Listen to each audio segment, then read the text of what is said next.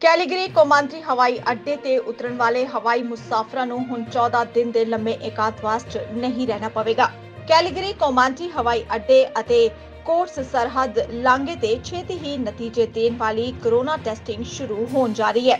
ਇਹ testing pilot project ਦੇ ਤੌਰ ਤੇ ਸ਼ੁਰੂ ਕੀਤੀ ਜਾਏਗੀ। ਅਲਬਰਟਾ ਸਰਕਾਰ ਨੇ ਮੰਗਲਵਾਰ ਨੂੰ ਇਸ ਦੀ ਜਾਣਕਾਰੀ ਦਿੱਤੀ ਹੈ। ਇਹ ਪਾਇਲਟ ਪ੍ਰੋਜੈਕਟ ਫੈਡਰਲ ਸਰਕਾਰ ਤੇ ਟਰੈਵਲ ਇੰਡਸਟਰੀ ਦੀ ਪਾਈਵਾਲੀ ਨਾਲ ਸ਼ੁਰੂ ਕੀਤਾ ਜਾਏਗਾ। ਇਹ ਪ੍ਰੋਗਰਾਮ ਨਵੰਬਰ 'ਚ ਸ਼ੁਰੂ ਕੀਤਾ ਜਾਣ ਵਾਲਾ ਹੈ। ਸੂਬਾ ਸਰਕਾਰ ਦਾ ਕਹਿਣਾ ਹੈ ਕਿ ਇਸ ਨਾਲ ਸੂਬੇ 'ਚ ਬਾਹਰੋਂ ਦਾਖਲ ਹੋਣ ਵਾਲੇ ਲੋਕਾਂ ਲਈ ਇਕਾਂਤਵਾਸ ਦਾ ਸਮਾਂ ਬਹੁਤ ਹੀ ਛੋਟਾ ਰਹਿ ਜਾਏਗਾ। ਹਾਲਾਂਕਿ ਰੈਪਿਡ ਟੈਸਟਿੰਗ ਪਾਇਲਟ ਪ੍ਰੋਜੈਕਟ ਸਵੈ ਇੱਛੁਕ ਹੋਵੇਗਾ, ਪਰ ਜੋ ਟੈਸਟ ਨਹੀਂ ਕਰਵਾਉਣਗੇ, ਉਹਨਾਂ ਲਈ 14 ਦਿਨਾਂ ਦਾ ਇਕਾਂਤਵਾਸ ਲਾਜ਼ਮੀ ਹੋਵੇਗਾ। ਸੂਬੇ ਦੇ ਮੁੱਖ ਮੰਤਰੀ ਨੇ ਕਿਹਾ ਕਿ ਬਾਹਰੋਂ ਆਉਣ ਵਾਲੇ ਲੋਕਾਂ ਨੂੰ ਇਕਾਂਤਵਾਸ 'ਚ ਜਾਣ ਤੋਂ ਪਹਿਲਾਂ ਕੋਵਿਡ-19 ਟੈਸਟ ਕਰਵਾਉਣ ਦਾ ਬਦਲ ਦਿੱਤਾ ਜਾਵੇਗਾ। ਜਿਨ੍ਹਾਂ ਦੀ ਰਿਪੋਰਟ 네ਗੇਟਿਵ ਹੋਵੇਗੀ, ਉਹਨਾਂ ਨੂੰ ਇਕਾਂਤਵਾਸ ਤੋਂ ਛੋਟ ਦਿੱਤੀ ਜਾਏਗੀ।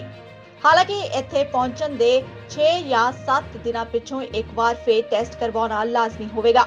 ਸੂਬਾ ਸਰਕਾਰ ਦਾ ਇਹ ਵੀ ਕਹਿਣਾ ਹੈ ਕਿ ਬੇਸ਼ੱਕ ਨੈਗੇਟਿਵ ਰਿਪੋਰਟ ਆਉਣ ਤੋਂ ਬਾਅਦ ਇਕਾਂਤਵਾਸ ਤੋਂ ਛੋਟ ਮਿਲੇਗੀ, ਪਰ ਯਾਤਰੀਆਂ ਨੂੰ ਇੱਥੇ ਪਹੁੰਚਣ ਦੇ ਦਿਨ ਤੋਂ 14 ਦਿਨ ਐਲਬਰਟਾ 'ਚ ਹੀ ਰੁਕਣਾ ਹੋਵੇਗਾ ਅਤੇ ਜਨਤਕ ਥਾਵਾਂ ਤੇ ਮਾਸਕ ਪਾਉਣਾ ਹੋਵੇਗਾ।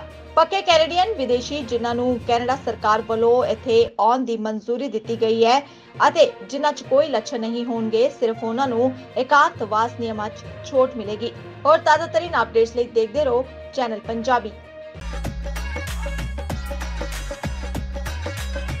ਤੁਸੀਂ ਹੈਰਾਨ ਤੇ ਜ਼ਰੂਰ ਹੋ ਰਹੇ ਹੋ ਕਿ ਇੱਕ ਬੰਦਾ ਪੈਂਟ ਕਮੀਜ਼ ਪਾ ਕੇ ਟਰੈਕਟਰ ਚਲਾ ਰਿਹਾ ਹੈ, ਖੇਤੀ ਕਰ ਰਿਹਾ ਹੈ। ਸਾਡਾ ਹਰ ਇੱਕ ਪ੍ਰੋਗਰਾਮ ਵੇਖਣ ਤੇ ਸਾਡੇ ਨਾਲ ਜੁੜਨ ਲਈ ਸਬਸਕ੍ਰਾਈਬ ਕਰੋ। ਚੈਨਲ ਪੰਜਾਬੀ ਤੇ ਨੋਟੀਫਿਕੇਸ਼ਨ ਲਈ ਬੈਲ ਆਈਕਨ ਵਾਲੇ ਬਟਨ ਤੇ ਕਲਿੱਕ ਕਰੋ।